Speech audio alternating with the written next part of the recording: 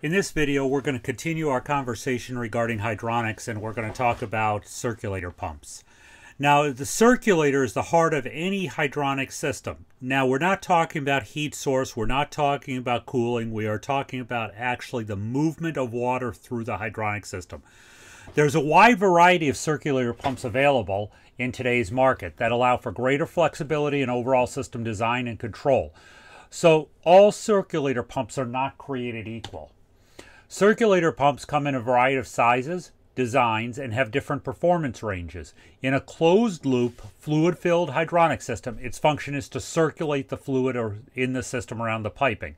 No lifting of fluid is needed in this application.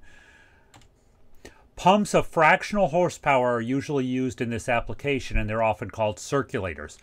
The pump that is most commonly used in hydronic systems is known as a centrifugal pump, which has rotating component called an impeller.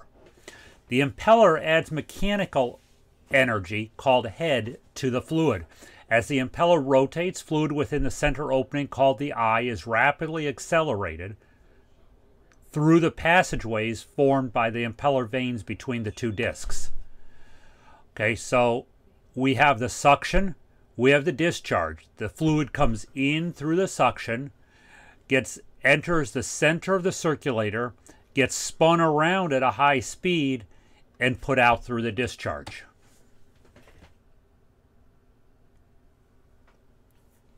The mechanical energy of the fluid is increased as it's accelerated towards the outer edge of the impeller.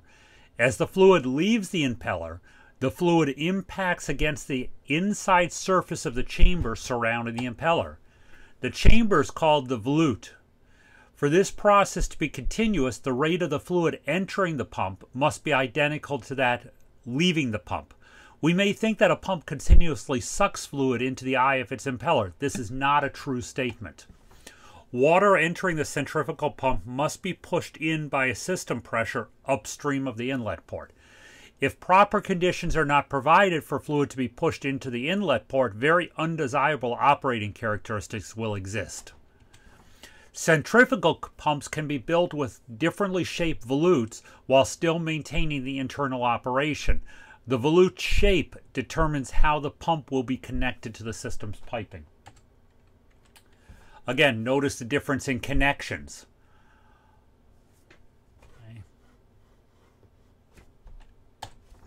The inline circulator can be placed into a piping path without the need for lateral offsets between the inlet and discharge ports. The inline circulator is the most common design and used for most residential and light commercial applications. By modifying the shapes of the volute, an end suction pump is created. End suction pumps are usually floor mounted and are commonly used on larger hydronic systems. Again, now we have to have an offset to get to that end. Notice the difference in the mounting. Wet rotor circulators combines the rotor, the shaft, and impeller into a single assembly that is housed in a chamber filled with the system fluid. Could be water, could be glycol, could be anything. The motor of a wet rotor circulator is cooled and lubricated by the system's fluid. The rotor assembly is supported on ceramic or graphite bushings in the rotor can. These bushings contain no oil but ride on a thin film of the system fluid. The rotor is surrounded by the stator assembly of the motor. So this is an example of a wet rotor circulator. No oiling is required, no leakage of system fluid due to warm pump seals. The smaller size makes it easy for location and support. The absence of a cooling fan and external coupling make them very quiet. Several models are available with multiple speed motors. They're inexpensive due to fewer parts, and they're ideal for applications where limited flow rates and head are required. They can be close coupled for series pump applications, but they most have PSC motors that operate over a wide speed range. Their disadvantages is that they have a very low starting torque of the PSC motor. It may not be able to free a stuck impeller after a long period of shutdown. Servicing anything not connected to the external junction box requires opening the wetted part of the pump, resulting in fluid loss and air entry into the system. In other words, if it's not in the coupling box, you cannot service this circulator pump without opening up the system. Wet rotor circulators are most commonly used in residential and light commercial applications. They are usually available with cast iron volutes for used in closed hydronic systems. Bronze or stainless steel volutes for direct contact with domestic water or other open loop applications are available. The next circulator we need to talk about is a three-piece circulator. The three-piece circulator consists of a pump body, a coupling assembly, and a motor assembly. Unlike the wet rotor circulator, the motor is totally separate from the wetted portion of the pump. This allows for the motor and coupling to be serviced or replaced without opening, having to open the piping system. The design of the coupling assembly varies between manufacturers, but the most common design employs a spring assembly that absorbs vibration or high torque between the two shafts as the motor starts. This is an example of the coupling of the spring coupling used in three-piece circulators. Notice the spring that helps connect it. Springs are prone to damage. Often they'll break and create a ton of vibration and noise. But again, they're easy to replace because you don't have to drain the system to do this. Newer spring style couplings are less prone to damage and help and also help quiet vibrations. These are sort of in line with the shafts. The impeller shaft penetrates the volute through a shaft seal that must limit the leakage of system fluid. So here's a three-piece circulator taken apart. You have your motor, you have your bearing assembly, and then you have the impeller and volute. You can service the motor and the connector, this is a spring type connection, and most of the bearing assembly without having to open the system itself and drain um, water or glycol. Some advantage of these is a potential longer life if the bearings are properly lubricated.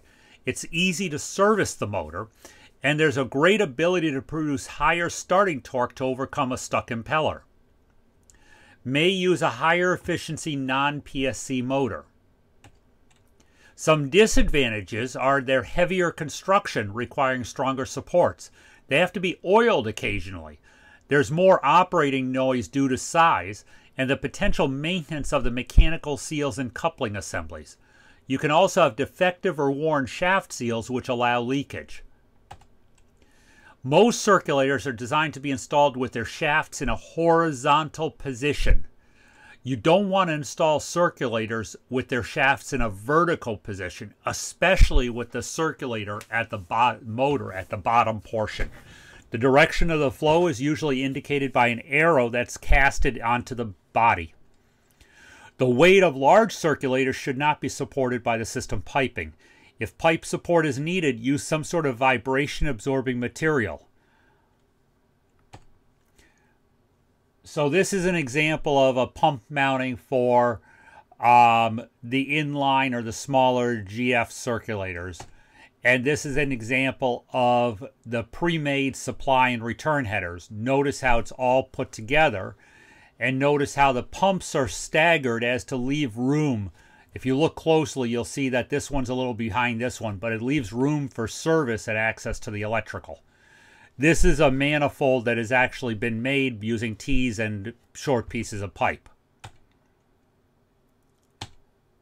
And again, I just repeat, anytime you have a good quantity of valves, the more valves that you can turn on and off, the better the installation is.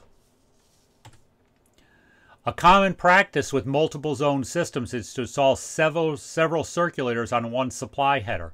The far side of this header should be well supported to prevent it from bending or sagging due to the weight. Unlike fittings and valves, circulators should be mounted so that they can be removed easily for servicing.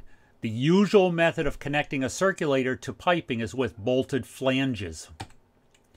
Pump flanges are available in cast iron for closed loop systems, as well as bronze or brass for open loop systems. As the flanges are bolted together, an O-ring or rubber gasket is compressed between the two faces of the flanges to make a good seal. This is an example of a set of standard flanges. And these are isolation flanges. The biggest difference is with isolation flanges, I can close the valves on each side of that flange and remove the circulator assembly without having to drain the system. Makes easy, service easier. And this is how it all slips together.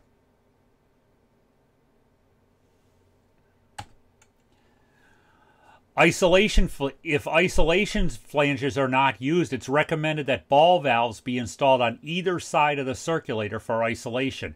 It's highly recommended that every circulator installed on a hydronic system be equipped with one of these means of isolation, either using the flanges or the ball valves like you see here.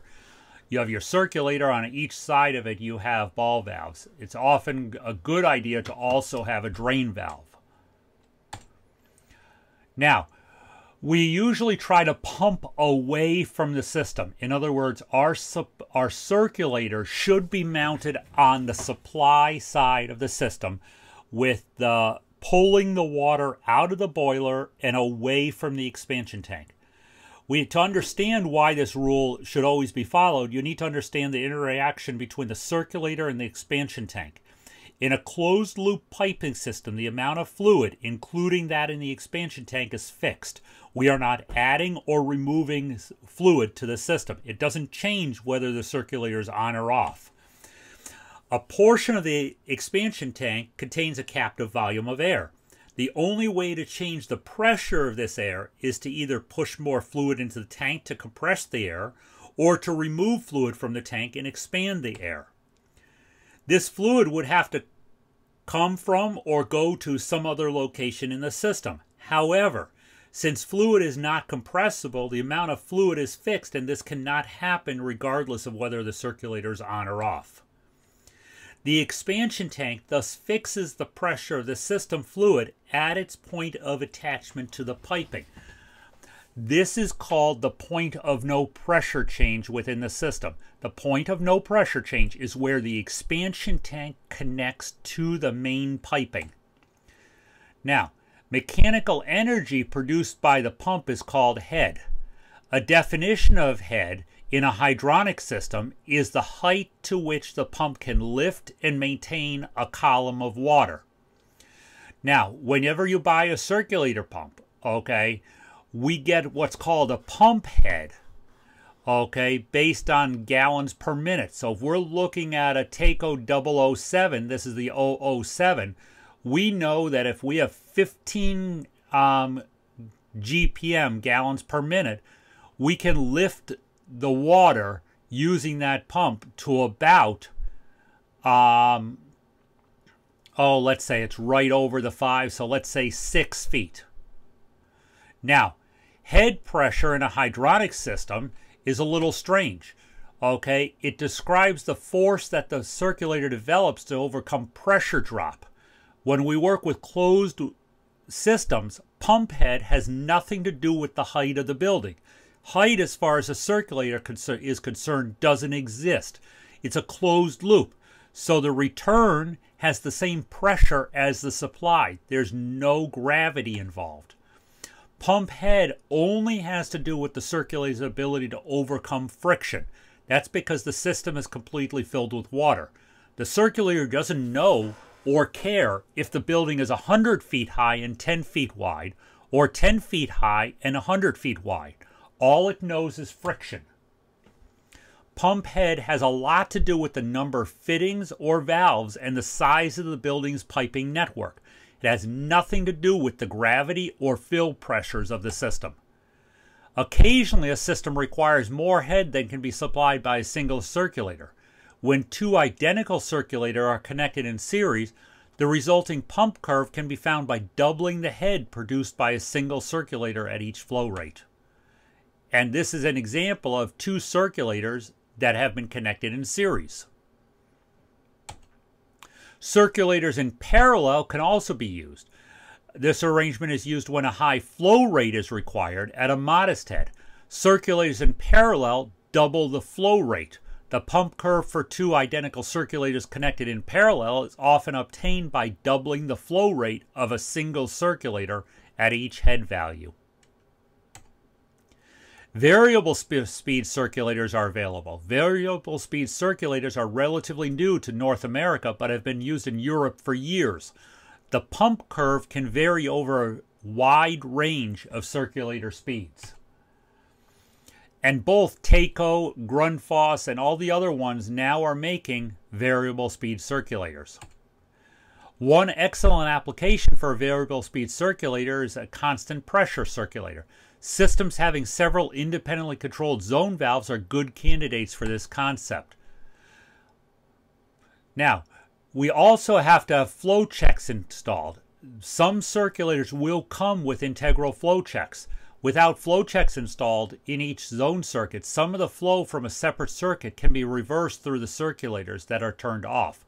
Flow checks must be, always be installed in each piping circuit anytime multiple pumps are installed. Some manufacturers are offering circulator pumps with flow checks in, right in, integrated with them. These integral flow checks consist of a small spring loaded valve housed within the inlet or outlet of a circulator's volute. And this just shows a circulator with a flow check. If you look real close at the top of this, you see there's a little piece in there blocking that.